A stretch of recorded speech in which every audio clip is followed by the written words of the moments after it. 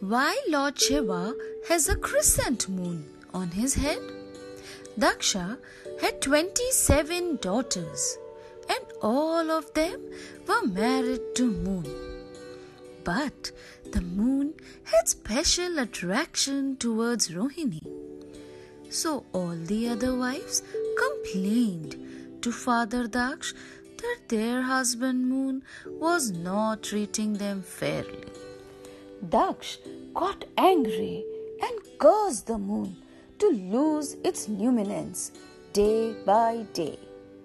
Every day, the moon started losing one luminance part out of its 16 parts. Afraid and ashamed, Moon disappeared into the ocean. There are many herbs that require the light of the moon to grow. Without moon, they were harmed. Consequently, there was suffering in the world. To end the problem, the celestials advised Moon to take refuge in the great divine Lord Shiva. Left with only one Kal, he took refuge in Lord Shiva.